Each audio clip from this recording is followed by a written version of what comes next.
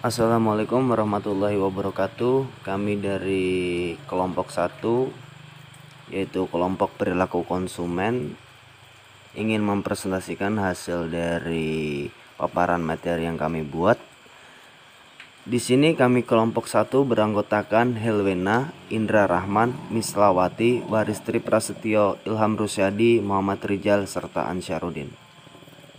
Baiklah, kita langsung saja lanjut ke materi. Konsep dasar perilaku konsumen, variabel dan teori. Apa itu perilaku konsumen?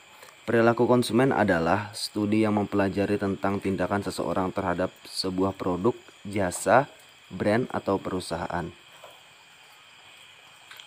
Perilaku konsumen menurut para ahli. Menurut Schiffman dan Kanuk tahun 2000 mengatakan bahwa Teori ini adalah studi tentang bagaimana seseorang membuat sebuah keputusan untuk membelanjakan sumber daya yang mereka punya, misalnya uang, waktu, dan tenaga mereka untuk mendapatkan produk yang akan dikonsumsi. Yang berikutnya yaitu dari Kotler dan Kaller tahun 2008. Keduanya sepakat bahwa teori perilaku konsumen adalah sebuah studi yang mempelajari individu kelompok maupun organisasi dalam memilih, membeli, menggunakan, dan mengevaluasi produk untuk memuaskan kebutuhan dan keinginan mereka. Manfaat-manfaat mempelajari perilaku konsumen yaitu satu, bisa memprediksi tren pasar.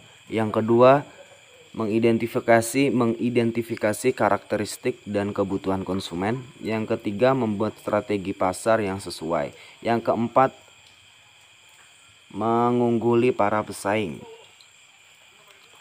Faktor-faktor yang mempengaruhi perilaku konsumen variabel yang pertama yaitu faktor sosial, budaya, pribadi, atau personal, serta psikologis.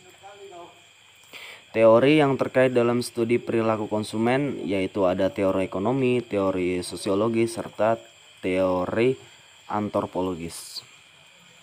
Sekian dan terima kasih.